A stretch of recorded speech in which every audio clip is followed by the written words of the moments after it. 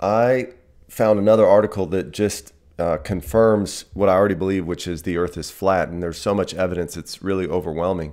But I was on LinkedIn looking at different industry news articles, and I, I came across this article that was talking about the Great Lakes and how they function like a, a slow moving river together, which I thought was interesting.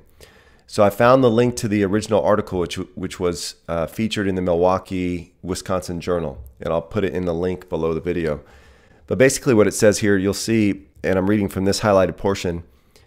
It says they might be called the Great Lakes, but the five bodies of water are, in a sense, one giant slow motion river flowing west to east, with each lake dumping like a bucket into the next until all the water is gathered in the St. Lawrence River and tumbles into the Atlantic Ocean, which sounds reasonable. I mean, it sounds intuitive. And then it goes on it talks about how they got there, you know, tens of thousands of years ago and, and whatnot. But here's what's interesting. So then they get you, you get to this graphic and it says five lakes, but one slow moving river. And it talks about Lake Superior, which the width is about 379 miles. You can see right here. And it's at an elevation above sea level, which is zero feet, sea level, at 601.7 feet above sea level because the sea is indeed level. And then it points out that there's a dam right here that basically locks the water out and allows water to drain down to Lake Huron, which is 578 feet above sea level. And so the dam distance in the river is about 60, and then we get the width of Lake Huron, which is 223 miles. I mean, this continues on. And then we got Niagara Falls pointed out here, which is a distance of 35 miles roughly, where Niagara Falls happens. And long story short, from the beginning, so the westernmost point of Lake Superior to getting into uh, the Atlantic Ocean, they have down here is a total of 2,212 miles.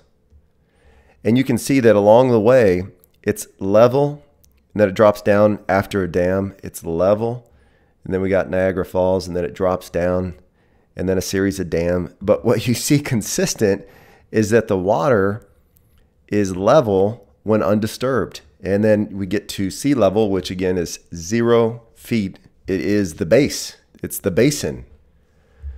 And so here's what's interesting. If we use a simple, uh, if we use the simple calculation that NASA gives us, which is the Earth curves at eight inches per mile squared, you do this 2212 miles times 2212 miles times 8 inches. And that gets us the total amount of curvature in inches. So we divide by 12 that's the total amount in feet. And so you divide by 5280 and that gets you the total curvature in miles. We should be asking how come this graphic doesn't show from the the source point to the ocean 617 miles. That's miles of curvature. There should be from the beginning to end 617 miles of curvature. So I went to this website that's actually set out to debunk that the earth is flat. And it has a curvature calculation and it talks about how the horizon is obscured by, by the curvature and all this stuff. So, so just to verify my numbers, 2,212 miles and let's say we're starting at the level of the water, which is zero feet in height instead of standing. And what we see here is that maybe my calculation is a little bit off. Maybe this is more exact. There should be a 675 miles of curvature. If we look at this point from the beginning, now remember, from the beginning, the westernmost part of Lake Superior to the ocean, that water should traverse 675 miles of curvature. But that's not what we see. What we see is level bodies of water to the dam points, waterfalls and rivers, to level bodies of water, to, to waterfalls and other dam points.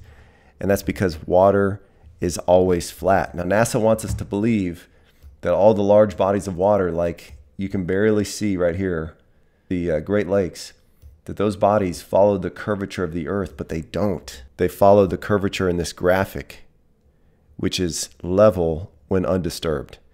So, just more proof we are not spinning on a ball.